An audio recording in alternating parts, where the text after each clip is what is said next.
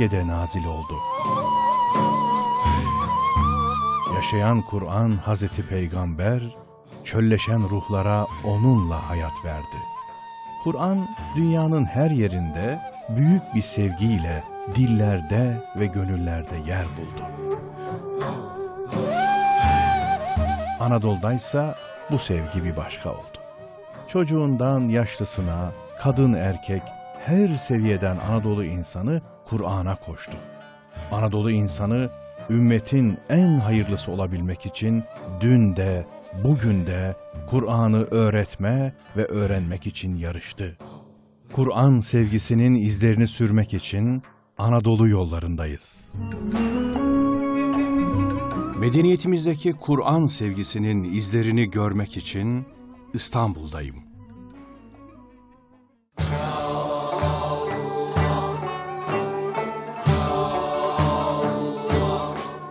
Musaflardaki ayeti kerimeler sadece Kur'an sayfalarında kalmaz. Bu ayeti kerimeler aynı zamanda mekana yansır. Camilere, medreselere, türbelere, saraylara bütün varlığıyla siner. Ve bu ayetler bu mekanlarda kendisini gösterirken aynı zamanda bu mekanları İslamlaştırır. Kur'an estetiğinin bütün göstergelerini mekanların levhasında, aynasında bize seyrettirir. Dolayısıyla mekanla Kur'an adeta etle tırnak gibi bir olur ve insana kendisini bütün güzelliğiyle sergiler. Kur'an bir hayat kitabı olduğundan musaflardaki eşsiz güzellikler Kur'an sayfalarında kalmaz. Kur'an'a gönül verip onu baş tacı eden ecdadımız, ibadethaneler başta olmak üzere yaşadıkları bütün mekanlara Kur'an'ı taşır. İnsanın doğumundan ölümüne, hayatının her noktasında Kur'an olduğu gerçeğini hatırlatır. Camiler, medreseler, saraylar, darü şifalar, çeşmeler, imarethaneler, türbeler ve hazireler gibi hayatın her alanına Kur'an ayetlerini nakşeder. Böylece bu cansız eserler Kur'an'la canlanır adeta.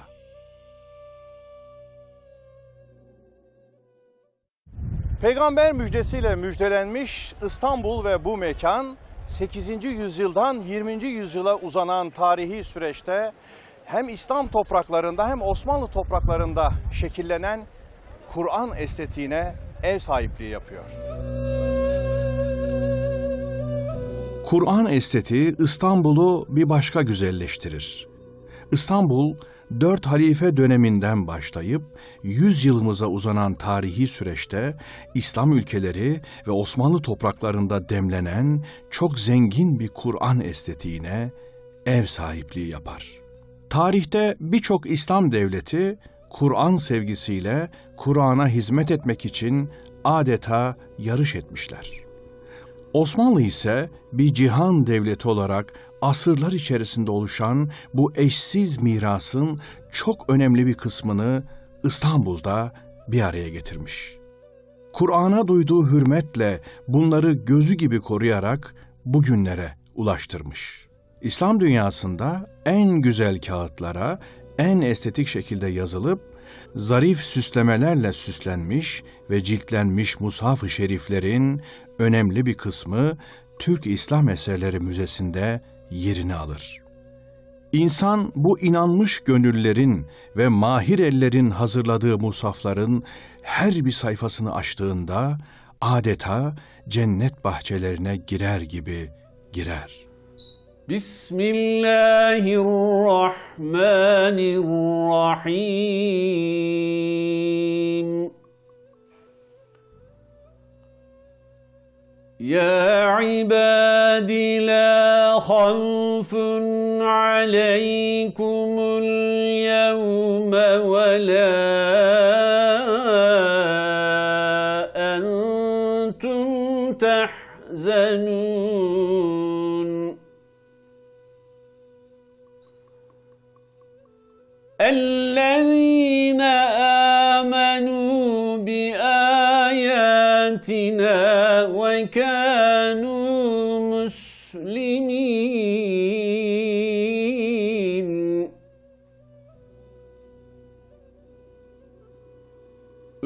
ادخلوا الجنة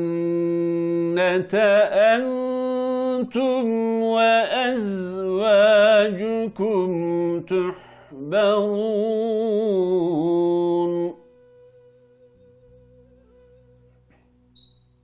يطاف عليهم بصحاف من ذهب وأكواب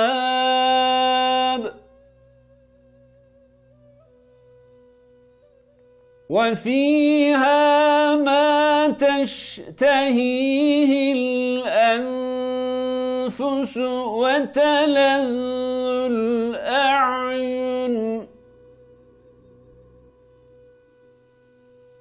وأنتم فيها خالدون.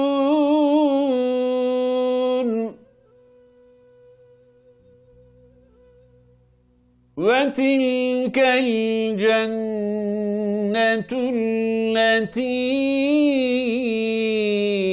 أورثتموها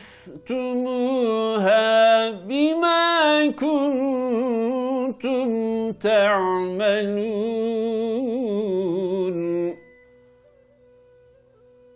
لكم فيها فاكهة كثيرة منها تأكلون. صدق الله العظيم.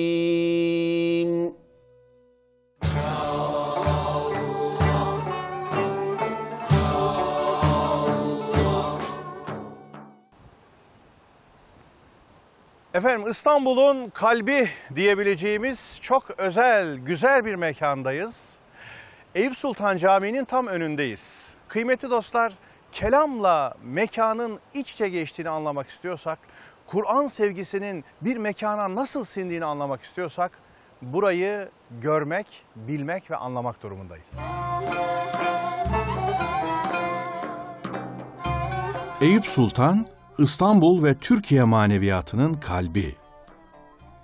Yaşayan Kur'an Hazreti Peygamberi Medine'ye hicretinde aylarca evinde misafir eden büyük sahabe.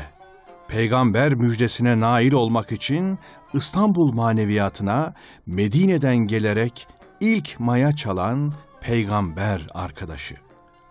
Kur'an'la nurlanmış bir hayatın asırlardır aydınlattığı özel yer.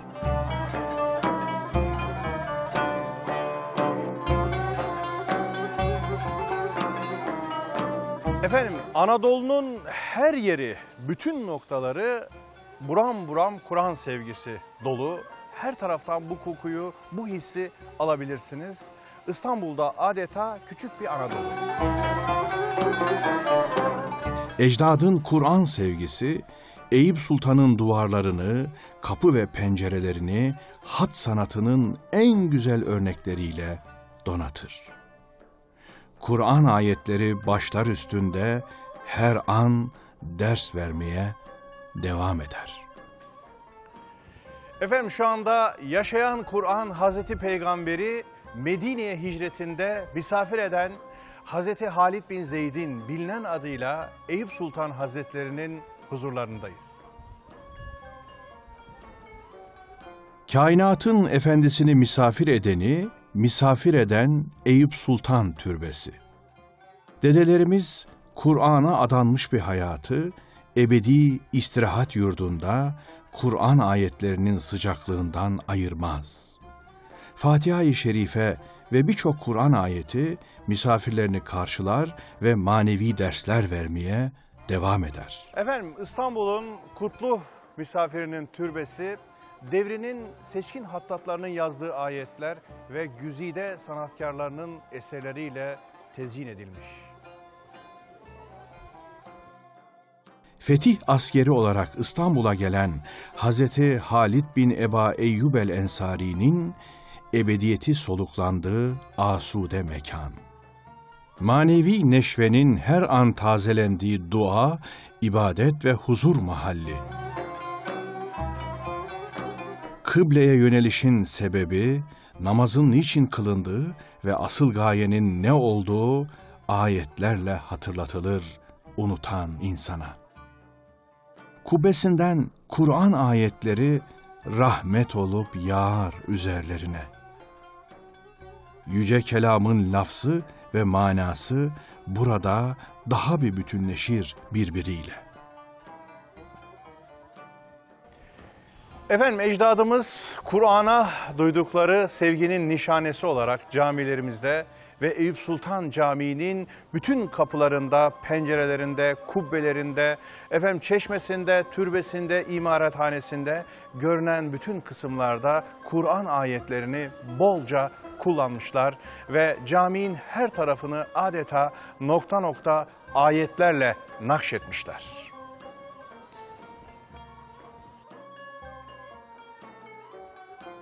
İstanbul Fatihi ve hocası Akşemseddin'le gün yüzüne çıkan Eyüp Sultan kabri asırlardır 7'den 70'e bütün müminlerin ziyaret durağı. Caminin kapısında gördüğümüz muhteşem hatla yazılmış bu ifade bir ayeti kerime. Namaz müminleri kötülüklerden ve her türlü çirkin işten alıkoyar diyor ve bize namazın buradan çıktıktan, camiden çıktıktan sonra da hayatımızda bizi kötülüklerden, çirkin işlerden alıkoyması gerektiğini işaret ediyor.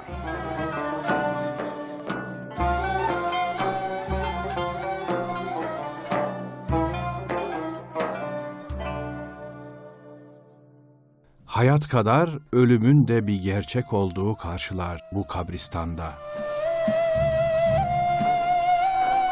Dünyadaki misafirliğimizin bittiğini ve ahiret hayatının başladığını bize haber veren kabirler.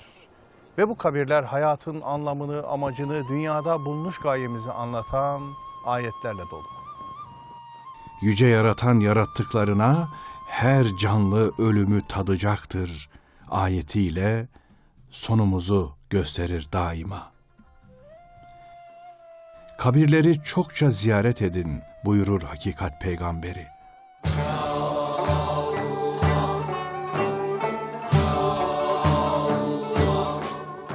Efendim Eyüp Sultan kabristanında binlerce mezar taşından bir tanesi. Ve o mezar taşının daha en başında bir Kur'an ayeti diyor ki kullu aleyha fan. Yani her şey fani olucudur. Bize dünyanın gelip geçici olduğunu, fani olduğunu bütün çıplaklığıyla, bütün netliğiyle hatırlatıyor. Ölümü Allah'ın emri bilen ecdat, mezar taşlarının başına her şey fanidir ayetini yazar. Ölümsüz olan ancak Allah'tır hatırlatmasında bulunur. Bu uyarılar yapılırken bir mezar taşı bile Kur'an estetiği açısından asla ihmal edilmez.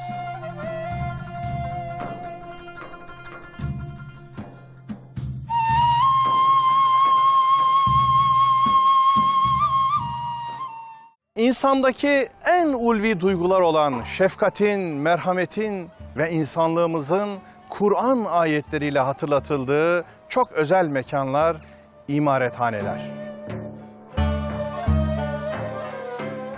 Yaratılanın, yaratanın hatırına sahiplenildiği yerlerdir imarethaneler. İhtiyacı olanların doyurulduğu imarethaneler Kur'an'da biz sizi sizden bir karşılık ve teşekkür beklemeksizin sırf Allah rızası için doyuruyoruz. Ayetinin yönlendirmesiyle kurulmuş olan sosyal müesseselerimizdendir. Siz yerdekilere merhamet edin ki Allah da size merhamet etsin buyuran şefkat peygamberi bu dünyada bizden başkaları olduğunu hatırlatır. Yüce Kur'an ve onun yaşayan hali sevgili peygamberimiz paylaşmanın huzurunu yaşatmak ister bize.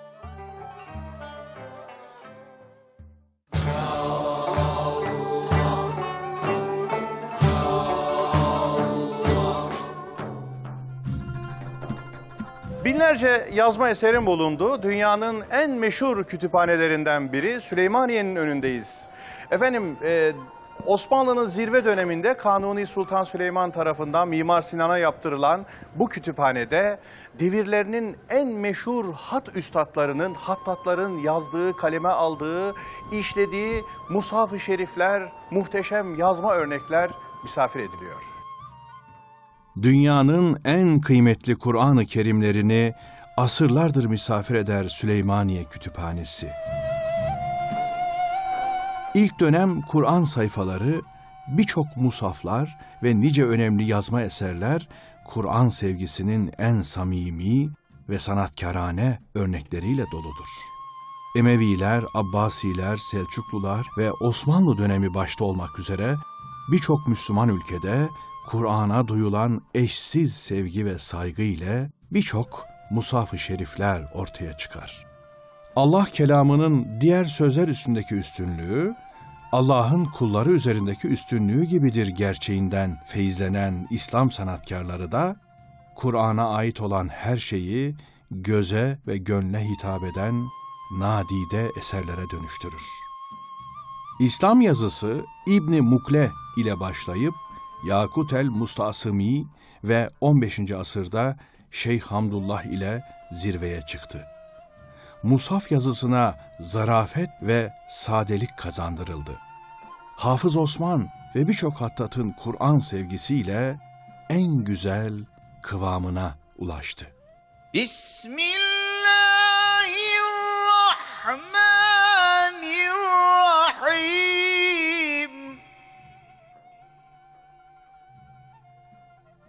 والضحى والليل إذا سجى ما ودعك ربك وما قلى.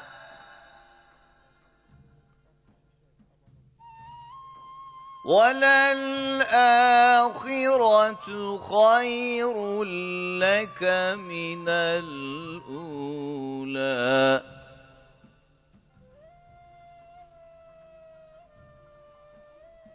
ولسوف يعطيك ربك فترضى.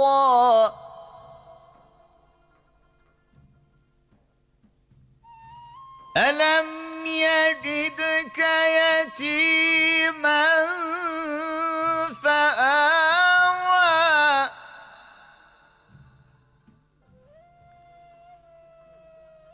ووجدك ضالا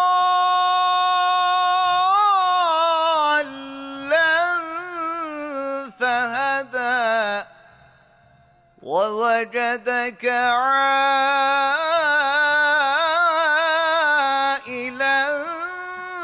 فأغنى.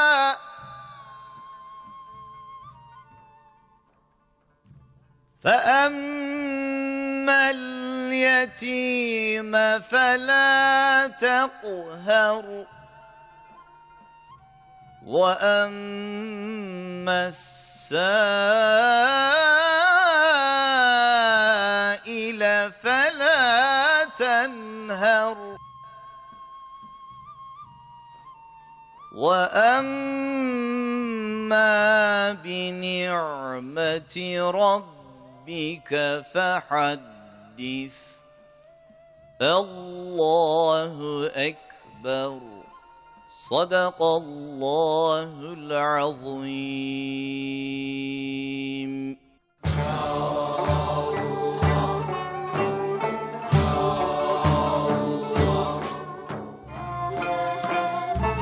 Asırlarca olgunlaştırılan Kur'an estetiği Fethi Mübin'e mazhar olan Fatih Sultan Mehmet Han tarafından zirveye ulaştırılır ve Fatih'le birlikte İslam estetiği zirvesini, olgunluğunu bulur. Bu kitaplar Fatih'tir, Selim'dir, Süleyman'dır. Şu mihrap Sinanüddin, şu minare Sinan'dır. Haydi artık uyuyan destanını uyandır. Rehberi daima Kur'an ve peygamber olan Fatih Sultan Mehmet Han. Şükrün bir nişanesi olarak Fatih Camii'ni inşa eder. İnşa ettiği mabedi Kur'an ayetleriyle bezer. Caminin dış avlusu, pencere alınlıklarında yer alan Fatiha suresi, devrin en önemli hattatlarından Yahya Sufi'ye aittir. Fetihleri kendinden bilmeyerek Allah'ın bir lütfu kabul eden büyük Fatih.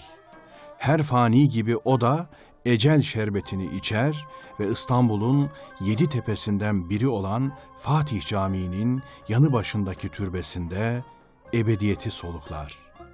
Türbeye ölümü hatırlatan ayetle adım atılır.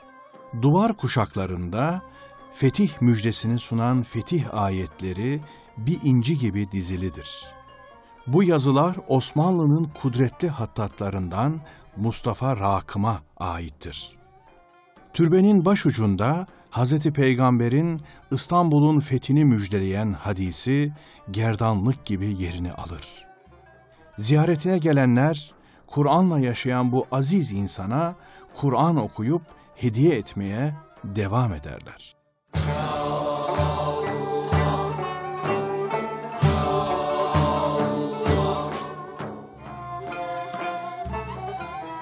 Artarak gönlümün aydınlığı her saniyede, bir mehabetli sabah oldu Süleymaniye'de. Görebilsin diye sonsuzluğu her yerden iyi, seçmiş İstanbul'un ufkunda bu kutsi tepeyi.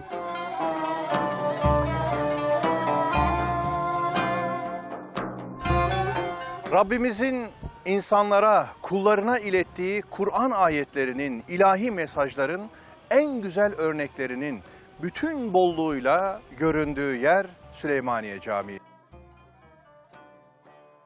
Osmanlı klasik döneminin şaheseri, zirve dönemin zirve eseri, Kanuni Sultan Süleyman ve mimarbaşı Mimar Sinan'ın eşsiz camii Süleymaniye. Cami avlusuna ilk adım attığımızda Kur'an ayetleri bizi karşılar, bütün ihtişamıyla karşılar. Mermerin, ahşabın, çininin bütün güzellikleri buna şahit olur. Süleymaniye sadece mimari üslubu ve zarafetiyle değil, aynı zamanda caminin içinde ve dışında yer alan muhteşem hat eserleriyle İstanbul'u Kur'an estetiğinde de zirveye taşır. Caminin iç avlu pencere alındıklarında çini üzerine ayetel kürsi yer alır. Adeta bu ayetin pencereleriyle camiye davet eder insanı. Süleymaniye Camii kubbesinde Fatır suresine ait ayetler yer alır. Allah göklerin ve yerlerin nurudur. Gök kubbeye benzetilen cami kubbesi de altında herkesi toplayıp kucaklayan bir unsurdur.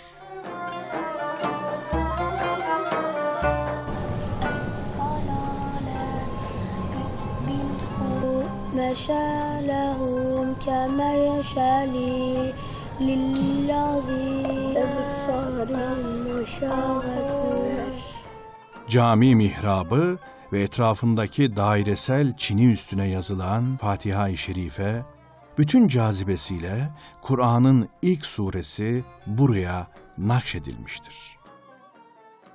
Bununla Fatiha suresinin manası hiçbir zaman unutulmasın diye en önde, en çok gözüken yere yazılmıştır. İbadet ve teşekkürün sadece Allah'a yapılacağını, yaşanan her anda doğru yoldan ayrılmama duasını hatırlatır. Nakkaşlar, müzehipler, hattatlar ve hakkaklar bütün hünerlerini Süleymaniye'de Kur'an'ın mesajları anlaşılsın diye en güzel şekilde ortaya koydular. Mihrap duvarında yer alan revzenlerde bile güneşi aydınlık yapan Allah'tır ayetleri nakşedilmiştir. Asırlarca Kur'an sesleriyle yankılanan Süleymaniye, kıyamete kadar Kur'an'a hizmetini sürdürmeye devam etmektedir. Bizim medeniyetimiz, Kur'an sevgisi, Kur'an aşkı ve Kur'an sevdasıyla yoğrulmuş. Ben de bu Kur'an sevgisinin izlerini sürmek üzere yollardayım.